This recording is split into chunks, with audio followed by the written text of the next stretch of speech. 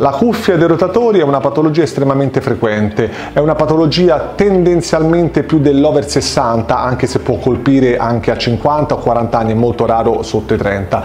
Che cos'è innanzitutto? Che cos'è la cuffia dei rotatori? È un insieme di tendini. L'insieme di questi quattro tendini, i tre tendini extrarotatori, 1, 2, 3 e il tendine intrarotatore, ehm, ovviamente creano, l'insieme dei quali creano la cuffia dei rotatori. Tendenzialmente che cosa succede? Si può rompere uno o più tendini di, queste, di questa cuffia dei rotatori, il più frequentemente interessato è il sovraspinoso che si può rompere, distaccare dalla sua inserzione e retrarsi. Ovviamente eh, questo è una, un qualcosa che avviene abbastanza frequentemente sopra i 70, sopra gli 80 ancora di più.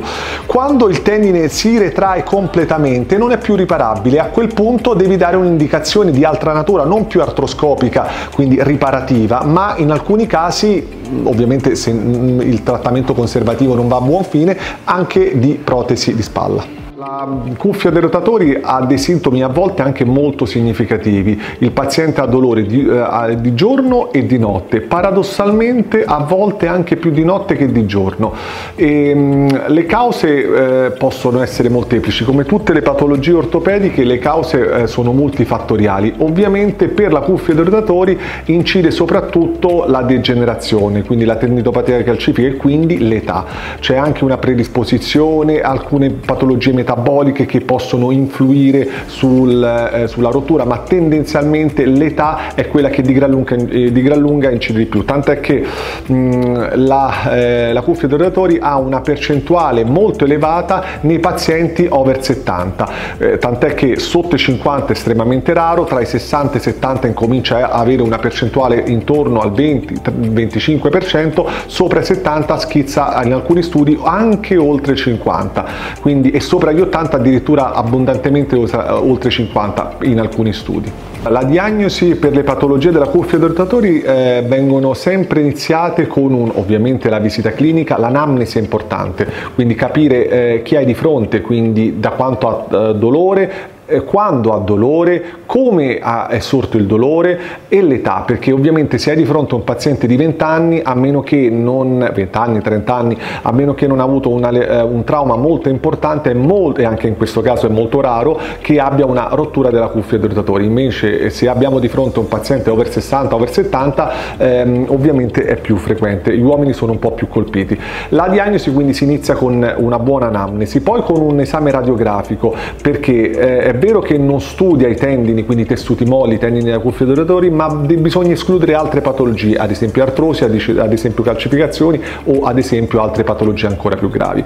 Ehm, poi il secondo step è tendenzialmente una risonanza magnetica. Una volta fatto appunto questa, eh, questa risonanza magnetica riesce ad avere un quadro eh, completo e puoi parlare di lesione piuttosto che tendinite o altre cose. L'intervento chirurgico della cuffia dei rotatori, della lezione della cuffia rotatori tendenzialmente oggi si fa in artroscopia, quindi con due o tre piccoli accessi di pochi millimetri, 5, 6, 8 millimetri eh, ognuno di questi e si va con la telecamerina, si vede il tendine mh, mm, e lo si ripara con un ancoraggio eh, transosseo o comunque un ancoraggio con delle, ehm, delle, ancorine metalliche o non metalliche che vengono appunto eh, a, fanno accostare il tendine all'osso. E ovviamente c'è un'immobilizzazione di qualche settimana, 2-4 settimane successivamente alle quali fisioterapia per uno o due mesi in base anche al tipo di lesione. L'ospedale israelitico è un'eccellenza in questo campo, eh, quindi sulla spalla,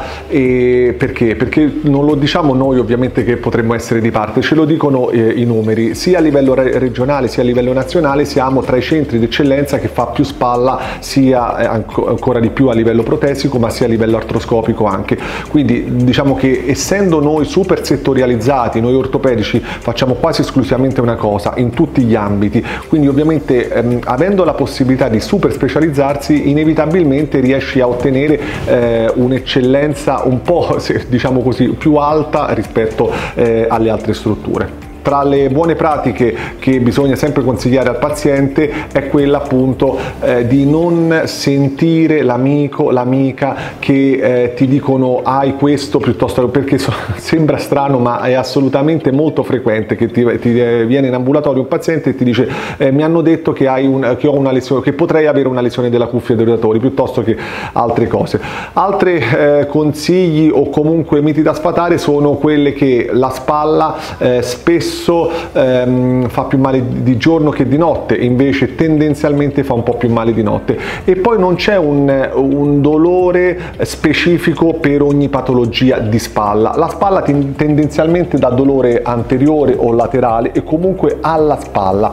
Un'altra cosa che ti va a escludere eh, un problema di spalla quando il dolore si radia a tutto il braccio compresa la mano. Un'altra cosa che ti va a escludere un problema di spalla è quando c'è un dolore a livello del trapezio, perché moltissimi pazienti ti vengono ho un dolore di spalla, eh, la domanda poi del medico è che cosa intende lei per spalla e banalmente loro ti dicono un dolore ti indicano qua, quindi questa zona qua, trapezio, quasi mai, eh, se non proprio mai, è un problema di spalla, se non in forma indiretta.